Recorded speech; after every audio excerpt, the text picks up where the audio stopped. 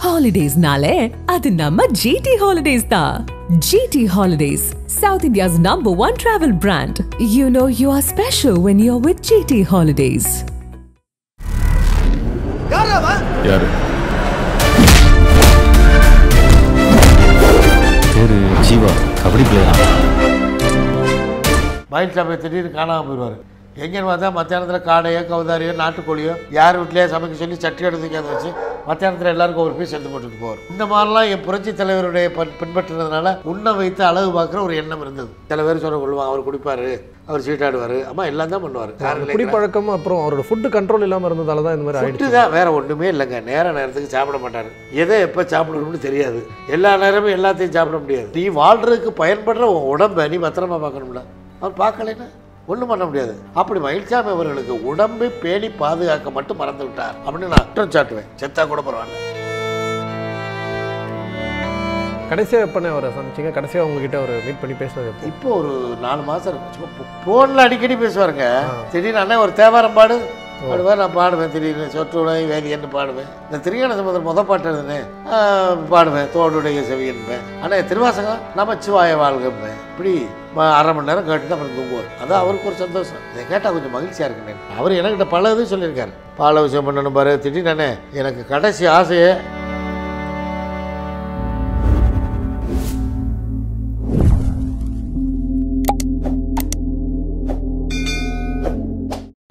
வணக்கம்.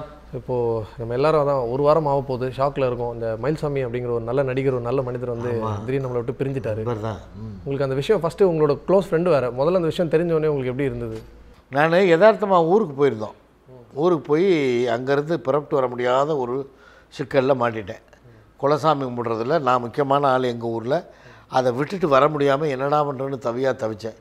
ஏன்னா ஊர் பொது ஆயிரம் பேருக்கு பதில் சொல்லணும். இந்த மாதிரி பொறுப்பு இல்லாமல் ஓடிட்டாங்கிற மாதிரி வரும். சரி நெருங்கி பழகிட்டேன். என்ன சரி வீட்டிலையாவது போய் பார்ப்போம். நேரில் பார்க்கத்தான் ரொம்ப வருத்தமாக இருக்கும் எனக்கு. அந்த சோகத்தை போக்க அது ஒரு வருஷம் ஆகும். சரி இதுவே தெரியும் போய் வீட்டில் போய் ஒரு நாளைக்கு கேட்டுக்குவோம். அவனுடைய அதுவும் சிவன்ராத்திரி அன்னைக்கு பயங்கரமான விழா எங்கள் ஊரில். சிவன்ராத்திரி அன்னைக்கு இறக்குறது எல்லோரும் கொடுப்பணும் இல்லை. சில பேருக்கு தான் அமையும்.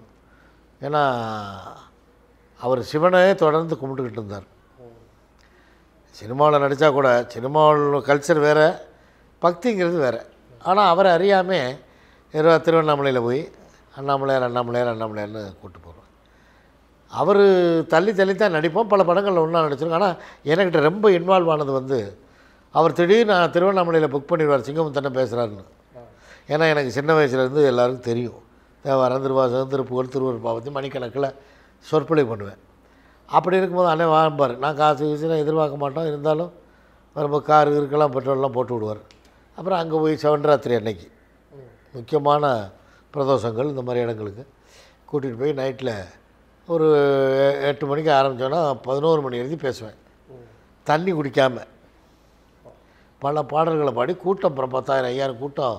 கோயிலுக்குள்ள அது பெரிய விஸ்தீரணமான உட்காந்துருப்பாங்க அப்படி தான் பழக்கம் நான் பேசும்போது ஒரு தான் வீரமணியோட வந்திருந்தார்.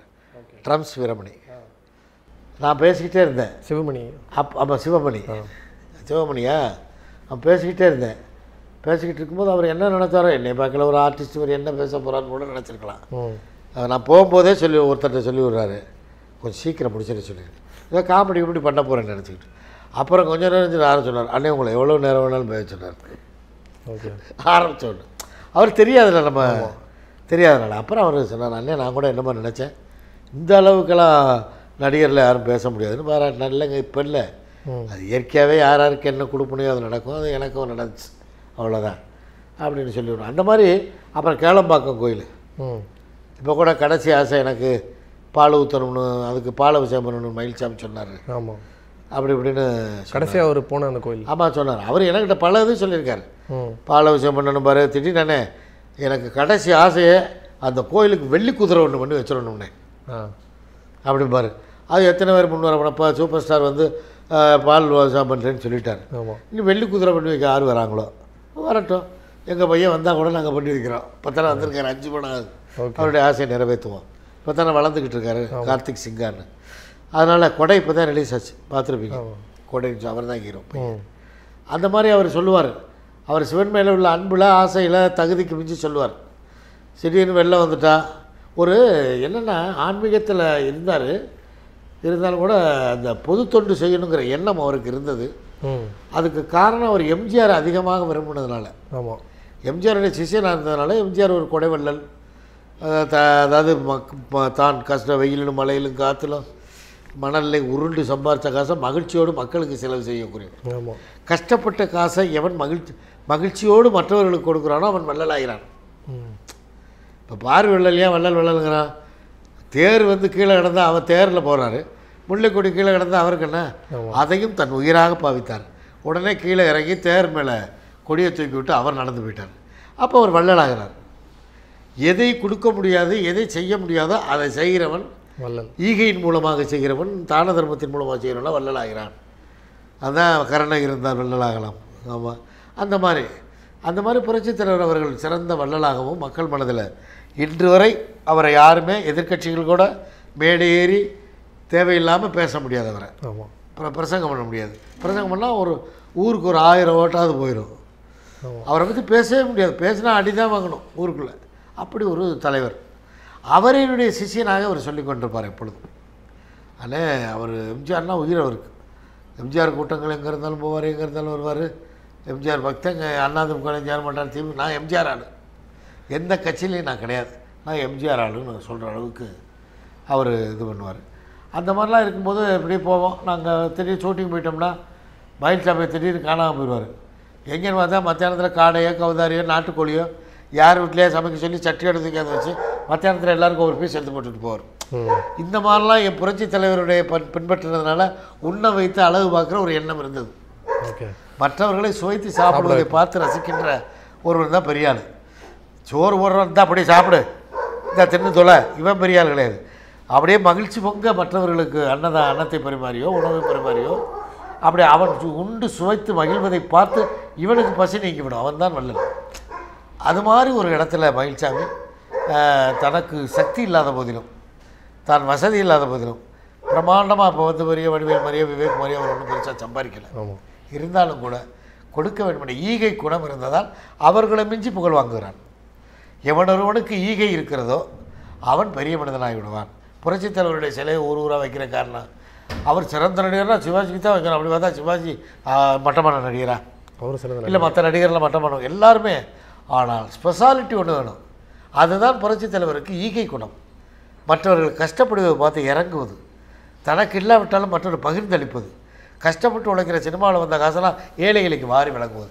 இது மாதிரியான விஷயங்களுக்கு ஒரு சிஷியனாக இருந்ததுனால இவர் கஷ்டப்பட்டு காசு இல்லாட்டிங்க யாருக்காவது பயிராட்டு ஆனால் சிவந்தனே நாளைக்கு ஒரு விசேஷம் ஒரு அஞ்சு தண்ணி பாட்டில் வாங்கி தர முடியுமா?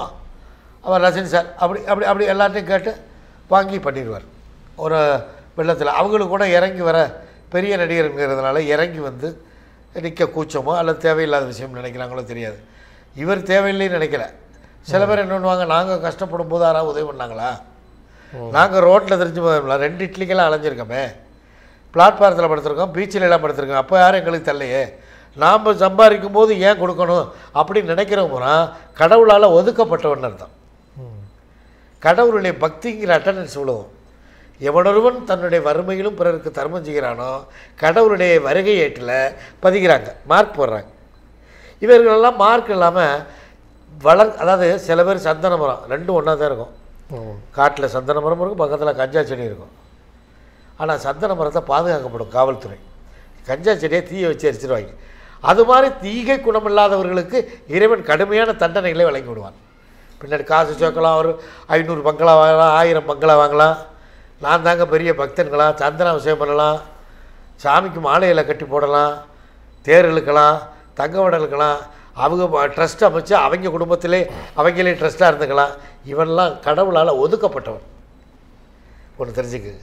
அவன் என்று இருந்தாலும் யமன் என்கிற காவல்துறையால் கடுமையாக தண்டிக்கப்படக்கூடியவர்கள் அர்த்தம். அதே மாதிரி ஏரியாலையும் வந்து நிறைய நல்லதெல்லாம் பண்ணியிருக்காங்க. பண்ணியிருக்காரு. இந்த இப்போ வெள்ளம் வந்துச்சுனாக்க தண்ணியில் போட்டு மாதிரி போய் சோறு ஆக்கி கொண்டாந்து போடுறது. கோவிட் டைம்லையும் கொரோனா அப்பவும் பண்ணார் எல்லாரும். எல்லா நேரத்துலையுமே அவரால் முடிஞ்சதை. பெருசாக ஒன்றும் செய்ய முடியாது. ஒரு நூறு பா ஒரு நூறு பாக்கெட்டு ஐநூறு பாக்கெட்டு அல்லது மற்றவர்கள்ட்ட வசதியான நடிகர்கள்ட்ட சொன்னாக்க அவங்க அவங்க தர்ம குணம் உள்ள நடிகர்களும் இருக்காங்கல்ல. கொஞ்சம் தர்மம் பண்ணணும் அப்படிங்கிற நடிகரும் இருக்காங்க. நம்ம ஏன் பண்ணணும்? அப்போ இருக்கிற நடிகர்களும் இருப்பாங்க. நம்ம தான் அந்த கோயிலுக்கு போகிறோம் இந்த கோயிலுக்கு போகிறோம் அங்கே போகிறோம் அங்கே அர்ச்சனை பண்ணோம். இங்கே வந்து வாழைப்பழம் வாங்கிட்டு போய் சாமி கொடுத்தோம். அப்புறம் நம்ம தர்ம வேறு தனியாக பண்ணணும்? அதை நம்மளே பண்ணிக்கோ அது மகிழ்ச்சியாக மூலமையாக பண்ணணும்? அப்படிங்கிறவங்களும் இருக்காங்க. ஆனால் மயில்சாமி எதுக்குன்னா ஒரு நடிகருங்கிற முறையில் நடிகருங்கிற முறையில் ஒரு நடிகனுக்கு இவ்வளோ அக்கறை இருக்குது பரவாயில்ல. அவன் ஹெல்ப் பண்ணட்டுமே. அந்த புண்ணியம் நமக்கு தானே வரப்போகுது. அப்படின்னு கொடுக்குறவங்களும் உண்டு. ஒன்றுமே இல்லைன்னா நகையை கொண்டு அடவு வச்சு அவன் பண்ணிடுவான். இருக்கிற நகையை மோதிரமோ தோடோ மூக்குத்தியோ ஒய்ஃபு கிட்ட சொல்லிவிட்டு ஒய்ஃப் பாவம். அது நல்ல பொண்ணு. இதுக்கு என்ன கடன் கரண்ட்டு கொடுத்து. பாவம். அதுக்கு போய் பண்ணுவார் இந்த மாதிரி ஈகை குணங்கள் இயற்கையிலேயே உருவாகணும்.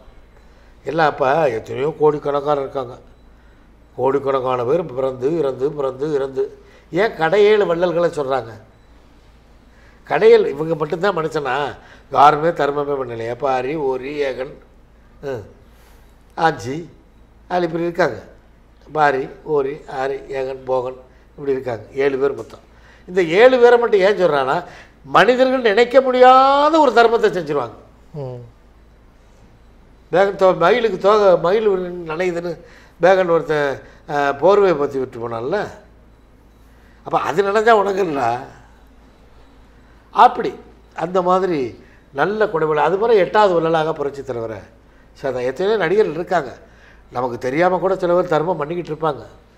எத்தனையோ பேர் ட்ரஸ்ட்டில் ஏழைகளுக்கு கொஞ்சம் கொஞ்சம் ப கல்விக்கு கொடுக்குறாங்க. ஆனால் எல்லாத்தையும் துணிந்து தனக்கு இல்லாவிட்டாலும் பரவாயில்லை என்று சொல்கிறவர் தான் வள்ளல். ஐநூறுரூவா வச்சுக்கிட்டு பத்து ரூபாய்க்கு சோறு வாங்கி கொடுக்குற வள்ளல் கிடையாது. அவனை நினச்சா பாவமாக இருக்கு எனக்கு அவரும் தர்மம் செய்கிறாராம். அப்படி கிடையாது. இப்போ இந்த எம்ஜிஆர் இருந்தார் மலைக்கோட்டில் நனைகிறதுனா இந்த பேகன் மயில் கொடுத்தாரு மலைக்கோட்டில் நனைய சேகரனுக்கு போர் கொடுத்தாரு.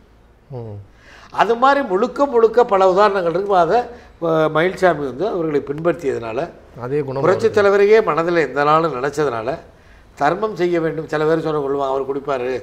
அவர் சீட்டாடுவார் அம்மா எல்லாம் தான் பண்ணுவார். குடிப்பழக்கம் அப்புறம் அவரோட ஃபுட்டு கண்ட்ரோல் இல்லாமல் இருந்ததால தான் இந்த மாதிரி ஆயிடுச்சு. ஃபுட்டு தான் வேறு ஒன்றுமே இல்லைங்க. நேர நேரத்துக்கு சாப்பிட மாட்டார். எதை எப்போ சாப்பிடணும்னு தெரியாது. எல்லா நேரமும் எல்லாத்தையும் சாப்பிட முடியாது. இது சிமெண்ட் செங்கல் போ ஜல்லி போட்ட வீடே கொஞ்ச நாளைக்கு தான் இருக்கும் நூறு வருஷம் ஐம்பது வருஷம். விரிவு விட்டுருது அங்கங்கே. இது ரத்தமும் சதையும் நரம்பும் கலந்த ஒரு போலியான காயம்னு சொல்கிறது காயமே இது பொய்யனா காற்றடைத்த பையனா அப்படிங்கிற மாதிரி. எப்போவுமே ஒன்று தெரிஞ்சுங்க. உடம்பை வளர்க்க தெரிந்தவன் மட்டும்தான் நல்லவன். எப்படின்னா நீங்கள் உடம்பை உங்களுக்கு கொடுத்துட்டாரு கடவுள். எல்லா அபயங்களும் பார்க்குறதுக்கு சிரிக்கிறதுக்கு ஸ்டைலாக இருக்கிறதுக்கு போராடுறதுக்கு சண்டை போடுறதுக்கு நடக்கிறதுக்கு உணவுன்ற உழைக்கிறதுக்கு எல்லாம் கொடுத்தாரு. அவ அதுக்கு பயன்படுற ஒரு இதை. எல் நீ வாழ்கிறதுக்கு பயன்படுற உன் உடம்பை நீ பத்திரமா பார்க்கணும்ல. அவர் பார்க்கலைன்னா ஒன்றும் பண்ண முடியாது. திரு திருமூலர் மூவாயிரம் வருஷம் இருந்தார். ஏன் காரணம்? அவரே சொல்லுவார் உடம்பை முன்னர் இழுக்கென்று இருந்தேன் உடம்பினுள் ஒரு உருபொருள் கண்டேன். திறம்பட மெய்ஞானம் தேடவும் மாட்டீர். உடம்பார் அழியின் உயிரார் அழிவர். தெரியுதா? உடம்பை வளர்க்கும் உபாயம் அறிந்தபின் உடம்பை வளர்த்தேன் உயிர் வளர்த்தேனே. உடம்பை எப்படி வச்சுக்கிறேன்னு தெரிஞ்ச பின்னாடி தான் என் உயிர் இருந்துச்சு. உயிர் போச்சுன்னா உடம்பு இல்லை. உடம்பார் அழியின் உயிரார் அழிவர். உயிர் சின்னோன்னு கொஞ்சம் இந்த உடம்புக்குள்ள தான் எல்லா வேலையும் செய்யணும். அப்படி மகிழ்ச்சாமி அவர்களுக்கு உடம்பை பேணி பாதுகாக்க மட்டும் மறந்து விட்டார் அப்படின்னு நான் குற்றம் சாட்டுவேன். செத்தா கூட பரவாயில்ல. கடைசியாக எப்போ நீ இவ்வளவு தர்மம் செய்கிறவன் இவ்வளவு நல்லவன். நீ ரொம்ப நாளைக்கு இருந்து நீ தர்மம் செய்ய வேண்டியவன். ரொம்ப நாளைக்கு இறைவனை வணங்க வேண்டியவன். இவ்வளவு சீக்கிரம் ஏன் போகணும்னா நீ உடம்பை கவனிக்கவில்லை. உடம்பிற்குள் ஆன்மாவுக்குள் இறைவன் இருக்கிறான் என்பதை நீ உணராமல் விட்டுவிட்டாய். அது புரிந்து கொள்ளக்கூடிய கதை கடவுள் கொடுக்கலையணும் கடைசியாக எப்போண்ணே அவரை சந்திச்சிங்க? கடைசியாக உங்ககிட்ட அவர் மீட் பண்ணி பேசினது எப்போ? இப்போ ஒரு நாலு மாதம் இருக்கும் சும்மா ஃபோனில் அடிக்கடி பேசுவாருங்க. திடீர்னு அண்ணன் ஒரு தேவாரம் பாடு. பாடுவேன் நான் பாடுவேன் திடீர்னு. சொற்றுடை வேதியன்னு பாடுவேன். இந்த திருஞான சமுதிரம் முத பாட்டு எழுதுனேன் பாடுவேன். தோடுடைய செவியன்பேன் ஆனால் திருவாசகம் நமச்சிவாய வாழ்கம்பேன். இப்படி அரை மணி நேரம் கேட்டுட்டு அப்புறம் தூங்குவார். அதான் அவருக்கு ஒரு சந்தோஷம். இதை கேட்டால் கொஞ்சம் மகிழ்ச்சியாக இருக்குன்னு ஆக இதெல்லாம் கற்றுக்கணும் படிக்கணும்னு ஆசை இருந்திருக்கு. அதுக்கு டைம் இல்லை. டைம் இல்லை. இப்போ ஆறு மாதமாக ஒரு வருஷமாக அவர் ட்ரிங்க்ஸ் கூட சாப்பிட்றதில்ல சொல்லி சொல்லி நான்லாம் ஃபோனில் சொல்லி சாப்பிடாத. உனக்கு கடமை நிறையா இருக்குது பையன் ரெண்டு பேர் இருக்கான். அவங்கள பார்க்கணும். மனைவி இருக்குது ஐம்பத்தாறு வயசு ஐம்பத்தெட்டுலாம் உனக்கு அறுபத்தி நாள் இப்போ ஐம்பத்தெட்டுங்கிறாங்க. இதெல்லாம் இது ஒரு வயசு கிடையாது. ஒரு மனிதனுக்கு கடவுள் விதித்தது நூற்றி இருபது வருஷங்க. எல்லாருக்கும். ஐயா என்னன்னு கேட்கும்போது பிரம்மா சொன்னார் இந்த படைச்சிட்டேன். சிவன் சொன்னாலும் சரி நூற்றி இருபது வருஷம் போட்டு நூற்றி இருபது வருஷம் எப்படிங்க? அப்படின்னாரு. நூற்றி இருபது வருஷத்துக்கு நாம் விதித்திருக்கிற வேதங்களில் ஆகமங்களில் சொல்லப்பட்டிருக்கிற ஆழ்வார்களும் நாயன்மாரும் சொல்லப்பட்டிருக்கிற முறைப்படி திருமூலர் சொல்லியிருக்க முறைப்படி இந்த உடம்பை பாதுகாத்து வந்தால் தான் நூற்றி இருபது வருஷம். இல்லைன்னா நாற்பது வருஷம் அறுபது வருஷம் எண்பது. நீங்கள் எவ்வளவு உஷாராக இருக்கீங்களோ. அவ்வளோதான் அதனால் மயில்சாமியை பொறுத்தவரையே சிவன் ராத்திரி அன்னைக்கு செத்ததுனால சிவலோக பதவி அடைந்து விட்டார்னு சொல்லுவாங்க. ஒரு மனிதன் இறந்து விட்டார். இறந்து விட்டார்னு சொல்லக்கூடாது இழந்து விட்டான். மதியை இழந்து விட்டதால் இறந்து விட்டான் நீங்கள் வந்து இப்போ அவரோட நிறைய படங்கள் நடிச்சிருக்கீங்க. ரொம்ப க்ளோஸ் ஃப்ரெண்டு உங்களுக்கு. எப்போ முதல்ல எங்கே அவர் தெரியும்? எப்படி ஃப்ரெண்ட்ஷிப் ஆரம்பிச்சது? ஃப்ரெண்ட் எல்லா படம் ரொம்ப நாள் ஆச்சுங்க அது. பத்து பதினஞ்சு வருஷம் ஆச்சு. நிறையா படம் பண்ணியிருக்கோம். ஞாபகத்திலே இல்லை எனக்கு. நிறையா பண்ணியிருக்கோம். ஒன்றா இருந்திருக்கோம். ஒன்றா அவர் சாப்பாடெலாம் வாங்கி கொடுத்துருக்காரு. ஒரே ரூமில் தங்கியிருக்கோம்.